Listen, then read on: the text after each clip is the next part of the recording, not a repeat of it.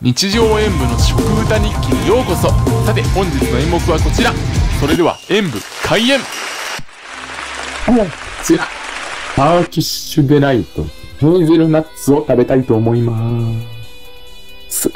えっと、ちょっと今声が枯れてるので、もう聞こえづらいかもしれませんが、ご了承ください。これ、この前食べたローズのヘーゼルナッツ版です。うーん。ローズは結構美味しかったので、ヘーゼルナッツも楽しみで。こちらなんですけど、なんか、ローズの時と違って結構白い粉がまぶさってますね。これ、絶対、ボロボロ崩したら喜劇になるやつ。なので、もう慎重に慎重に。もうちょっともう、これ以上近づけたら間違いなく悲劇になりますので、もうこのままいただきますね。では、チ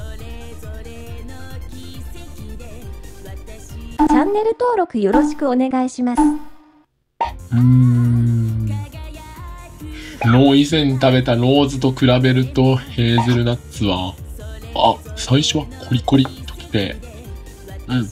夢を見開くんですけど食べ続けていくとだんだんな。うーん。これどうなんだろうって思う部分が少々。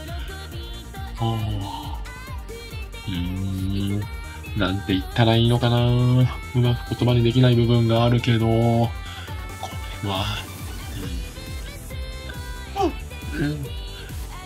判断が難しい。あ、味の詳細につきましては、この後、しっかりレビューしていきますけど、非常に難しいお菓子であるとは言えますね。これ。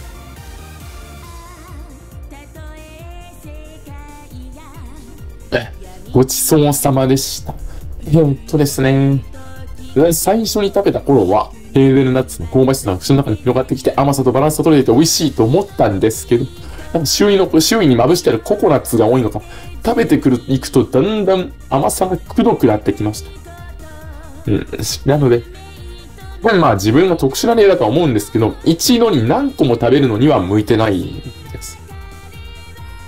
何回かに分けて食べるか、あるいは苦いコーヒーとお供にするか、もしくはもう大人数で分け合って食べる。そういう用途には向いてると思いますが、一人でいくつも食べると、かなり甘さがくどくなって、どぎつくなってくるので、だんだんだだちょっと、最初の方美味しかったんだけど、だんだん、うん、うんってなっちゃうかなと思いました。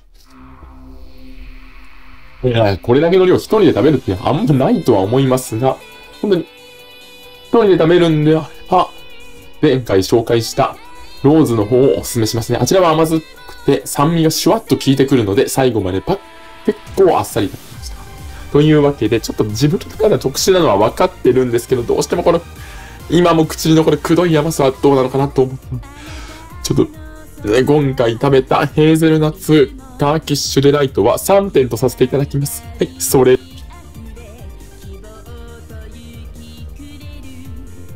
風花と約束するのやこの春は一体何の約束をしたんでしょうね。というわけで、今回はターキッシュデライトヘーゼルナッツ業務スーパーで売ってますを食べてみた動画でした。あなたの参考になりますか？ご視聴ありがとうございました。コメントしていただけると、そしてよろしければ他の動画も見ていただける、動画を拡散していただけると嬉しいです。演舞、終演。本日の演目はお楽しみいただけましたか？チャンネル登録コメント高評価していただけますと嬉しいです。ではまた明日の演目でお会いしましょう。それではさようなら。